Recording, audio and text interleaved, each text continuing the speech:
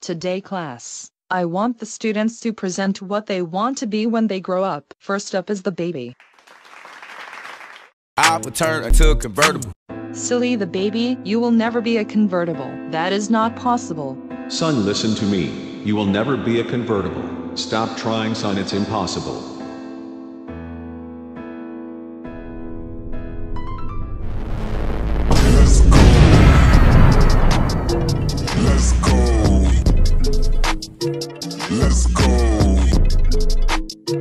Let's go. Let's go. Let's go.